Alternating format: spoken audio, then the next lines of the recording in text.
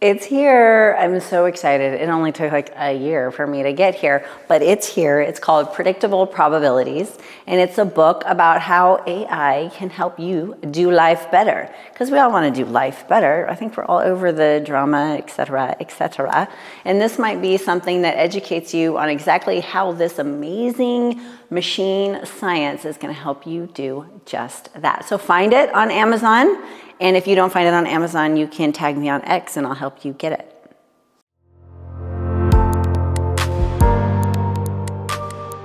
Um, so the book is out, like I had said, so yep. everybody go buy it.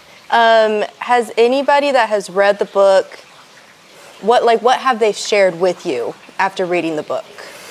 The I'll just share from the beginning. I, I, I love my my co-writer because she was like, I had no idea that HR had to do all of these things, and no, my book isn't all about HR, but it's very hard to do anything in life without having a touch point for how humans get applied to work, education, etc. So my experience as an HR professional really helped to bring a lot of education to what that role of HR is in our economy and, and our society. So I love that. I love that little shock factor. And then as we were going through the editorial process, I the the um, publishing team, uh, it was like, oh my gosh, I didn't even know that. Like, I didn't even know the tools that I was using were kind of setting me up for failure. And I thought, oh. oh wow. Okay, that's great. I'll take that. I'll, I'll take that. Like, okay, you, you took like a section of it and it gave you this aha like oh i'm the pro- i'm creating my own problems mm-hmm. because of the tools that i'm using and uh, even my my uh, son-in-law he's like i mean you just kind of simplified i thought ai was something completely different and you you kind of simplified it in such a basic way for me. So I've appreciated all of the all of the little and they're all different. Mm-hmm. They're all, you know, everybody's taking something different from the book and so that's that's always exciting for me to hear. That is exciting. It's kind of like your own personal interpretation.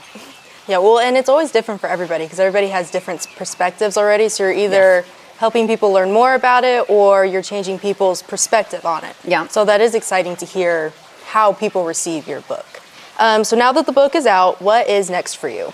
Do you have any more books or Selling big projects? It. Hello, buy, buy the book. That's it. Uh, that's, yeah, that's it. I mean, I'm really just out there uh, making sure that people are aware of the book, uh, making sure that people know that it's a, a resource for them to mm-hmm. understand how AI is going. It's going to play a role in everybody's life. You either are going to be passive and let things happen to you, or you're going to learn how to engage with this kind of technology and tools. And uh, and those two extremes, whether they read my book or not, um, I, I mean, what's next for me is really nothing. I'm just gonna kind of watch. Like I've got my popcorn out. Like the next decade, who, who knows how people are gonna choose to navigate through this? But now I can say, I warned you.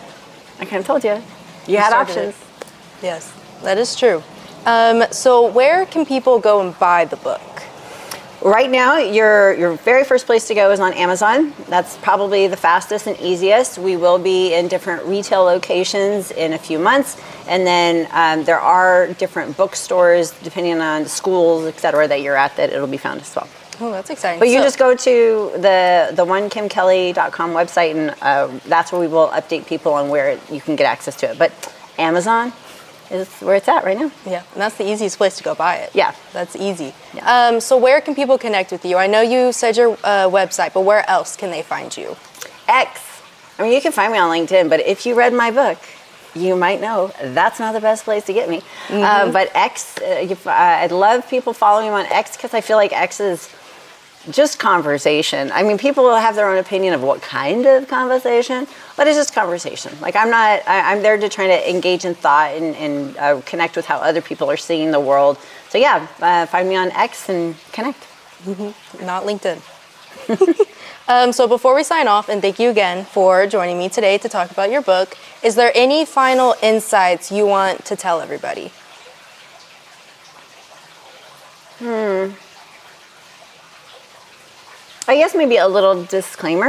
You know, my book is not a how to build AI. It's not an, a technical book on how to engineer machine learning, automation, and AI. I mean, yes, we could talk about that if you want to, but that's not at all what the book is about. Mm-hmm. And also, a lot of people think that my book is about entrepreneurism or HR or um, helping develop young adults into their goal job. And it's really none of those things by itself, but it does basically explain how all of those life and work experiences have been made better because I'm an early adopter of technology, and then how I've designed pepelwerk to help solve some of those problems that um, obviously I talk about in the book. So it's not just about, so that's what it's not about. And then what it is about is um, really just emphasizing how technology can change the quality of your life and also give people a little bit more context into why I built pepelwerk. Mm-hmm. Awesome. Well, thank you for sharing everything yeah. today, and thank you for writing the book to help inform people. Um, and I wish you the best. And I wish this you. book the best. Everybody go buy it. Thank you. Thank you, Kara. You did great. Thank you. Thank you.